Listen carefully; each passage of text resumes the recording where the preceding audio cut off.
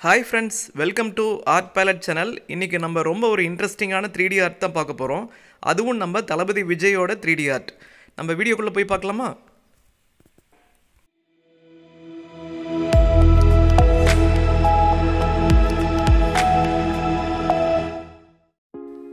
நம்ம தளபதியோட three D art பார்த்திங்கன்னா ஒன் பாயிண்ட் பர்ஸ்பெக்டிவில் வரைஞ்ச ஒரு ஆர்ட் ஒன் பாயிண்ட் பர்ஸ்பெக்டிவ்னா என்னென்னா ஒரு பாயிண்ட்டுக்கு எல்லா எலிமெண்ட்ஸும் போய் சேரும். அந்த அது அதுதான் ஒன் பாயிண்ட் பெர்ஸ்பெக்டிவ்னு சொல்கிறது இதை பற்றின வீடியோ நான் போட்டிருக்கிறேன். நீங்கள் செக் பண்ணிக்கோங்க. இது எப்படின்னா நம்ம டாப் ஆங்கிள்லேருந்து நீங்கள் பார்த்து வரைகிற மாதிரி வரையணும். இப்போ இந்த ஆர்ட்டில் பார்த்தீங்கன்னா நம்ம ஹெட் போர்ஷன்ஸ் வந்து நல்லா பெருசாக வரைஞ்சிருவோம். வரைஞ்சிட்டு பாடி போர்ஷன்ஸ் போக போக சின்னதாகி அப்படியே லெக் போர்ஷன்ஸ் வரும்போது நல்லாவே சின்னதாகிடணும். ஸோ நீங்கள் மேலேருந்து எல்லா எலிமெண்ட்ஸ் பார்த்தீங்கன்னா கீழே போக போக அப்படியே குறுகி ஒரு ஒரு பாயிண்டில் போய் முடிகிற மாதிரி இருக்கும். ஸோ அதை தான் நம்ம ஒன் பாயிண்ட் பெர்ஸ்பெக்டிவ்னு சொல்லுவோம். ஸோ இந்த ஆர்ட்டில் பார்த்தீங்கன்னா நம்ம ஹெட் போர்ஷன்ஸ் எல்லாம் வந்து ஃபுல் அண்ட் ஃபுல் நான் வந்து சார்கோல் பென்சில்ஸ் யூஸ் பண்ணி வரைஞ்சிட்டேன். சார்கோல் பென்சில்ஸ்லேயே நம்ம ஹெட்டு ஹேர் போர்ஷன்ஸ் எல்லாம் வரைஞ்சிட்டு அதுக்கப்புறம் வந்து ஐப்ரோஸு ஐஸ் எல்லாமே வந்து சார்கோல் பென்சில்ஸில் வரைஞ்சிட்டு அந்த ஷேடிங்கெல்லாம் கொடுத்துட்டு அதுக்கப்புறம் ஸ்மச் பண்ணி நம்ம ஓவராலாக வந்து ஷேடிங்ஸ்லாம் கொடுத்தோம். இது ஆக்சுவலாக பார்த்தீங்கன்னா மாஸ்டர் விஜயோட ஆர்ட் தான். அந்த மாஸ்டரில் தான் பார்த்தீங்கன்னா தளபதி பார்த்தீங்கன்னா அந்த முஸ்டாச்சில் வச்சுட்டு பியர்டு இந்த ஒரு கூலர்ஸ்லாம் போட்டுட்டு கொஞ்சம் கூலாக இருக்கும் லுக்கு ஸோ அதனால் அதை நம்ம யூஸ் பண்ணிக்கிட்டோம். இது நம்ம வரையறதுக்கு முன்னாடியே பிளான் பண்ணிக்கணும். இது இந்த ஒன் பாயிண்ட் பர்ஸ்பெக்டிவில் வரையறதுக்கு வந்து என்னென்ன பண்ணணும் அப்படிங்கிறது முன்னாடியே பிளான் பண்ணிவிட்டு நீங்கள் அந்த த்ரீ டியில் த்ரீ த்ரீ டி லுக் வர மாதிரி நம்ம அசியூம் பண்ணி முன்னாடியே பிளான் பண்ணி வரையணும் இதை.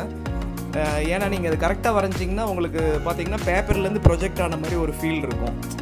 கீழே ஷேடோஸ்லாம் கொடுக்கும்போது. நீங்கள் இதுலேயே பார்ப்பீங்க. இப்போ நம்ம பார்த்தீங்கன்னா இந்த இந்த செக்டு ஷர்ட்ஸ் தான் அதில் மோஸ்ட்லி அவர் யூஸ் பண்ணியிருப்பார் அதனால் பார்த்தீங்கன்னா நம்ம அந்த செக்ஸ் எல்லாமே வந்து நான் சார்கோல் பென்சில்ஸ்லேயே யூஸ் பண்ணி இந்த செக்ஸ் எல்லாம் கொண்டு வந்துட்டேன். செக்ஸ் எல்லாம் கொண்டு வந்துட்டு அதுக்கப்புறம் ஓவராலாக அந்த செக்ஸ் முடிஞ்சதுக்கப்புறம் நான் என்ன பண்ணிட்டேன்னா மார்க்கர்ஸ் யூஸ் பண்ணி அதில் மேலே வந்து இந்த லைனிங்ஸ்லாம் கொஞ்சம் கொஞ்சம் கொடுத்து பார்க்குறக்கு இன்னும் ஒரு கூலான ஒரு லுக் வர மாதிரி பண்ணியாச்சு. பண்ணிவிட்டு கீழே வந்து பேண்ட் எல்லாம் வந்து மார்க்கர்ஸ் யூஸ் பண்ணியே நான் நல்லா டார்க்கன் பண்ணிட்டேன் டார்க்கன் பண்ணிவிட்டு அதுக்கப்புறம் வந்து அந்த கையெல்லாம் மடிச்சு விட்ட மாதிரி பண்ணி இது இதோட நிறுத்தி ஒரு க ஒரு ஹேண்ட் வந்து பேக்கெட்குள்ளே இருக்கிற மாதிரி பண்ணிடணும். பண்ணிவிட்டு இதோட நிறுத்திட்டு லேட்டர் ஸ்டேஜ் என்ன பண்ணால் இந்த மாதிரி ஒரு இன்னொரு ஹேண்ட் நல்லா பெருசாக நீங்கள் வரையணும். வரைஞ்சிட்டு அப்போ தான் வந்து அந்த த்ரீ டி எஃபெக்ட் கிடைக்கும். இதை தனியாக வரைஞ்சி நீங்கள் கட் பண்ணி இந்த மாதிரி கொண்டு வந்து அந்த இடத்துல வச்சுட்டு அதுக்கப்புறம் நீங்கள் வந்து கரெக்டாக அதை ஷேட் பண்ணணும். இப்போ அந்த வாட்ச்சு இதெல்லாத்தையும் ஷேட் பண்ணி அழகாக அந்த ஹேண்டெல்லாம் வந்து சுருக்கெல்லாம் இருக்கிற மாதிரி கரெக்டாக பண்ணி நீங்கள் ஓவராலாக சார்கோலில் ஷேட் பண்ணிட்டு எல்லாமே சார்கோல்ஸில் நீங்கள் சார்கோல் பென்சிலில் சைட்லலாம் ஷேட் பண்ணிட்டீங்கன்னா ஸ்மச் பண்ணும்போது அந்த டர்ட்டை யூஸ் பண்ணியே நீங்கள் அந்த ஸ்கின் டோன் கொண்டு வந்துடலாம் ஸோ அப்போ பார்க்குறக்கு ஒரு ரியல் ஃபீல் கிடைக்கும். ஸோ இந்த மாதிரி தான் நான் ஃபுல்லாகவே இது கம்ப்ளீட் பண்ணேன். இப்போ கம்ப்ளீட் பண்ணதுக்கப்புறம் பாருங்கள் நம்ம இந்த கீழே ஷேடோஸ்லாம் கொடுத்ததுக்கப்புறம் பார்த்தீங்கன்னா நம்மளை நோக்கி நிற்கிற மாதிரி ஒரு ஃபீல் இருக்கும். அப்போ இந்த கையை நீங்கள் லைட்டாக லிஃப்ட் பண்ணிங்கன்னா ஒரு ரியலாகவே நின்றுட்டு இருக்கிற மாதிரி ஒரு ஃபீல் கிடைக்கும். இந்த ஆர்ட் உங்களுக்கு ரொம்ப பிடிச்சிருக்குன்னு நான் நினைக்கிறேன். இதை ஃப்ரெண்ட்ஸுக்கும் ஷேர் பண்ணுங்கள் நீங்களும் ட்ரை பண்ணி பாருங்கள் இப்போ நம்ம குட்டி தளபதி நம்மக்கிட்ட பேசுவார். அதை பார்த்து என்ஜாய் பண்ணுங்கள்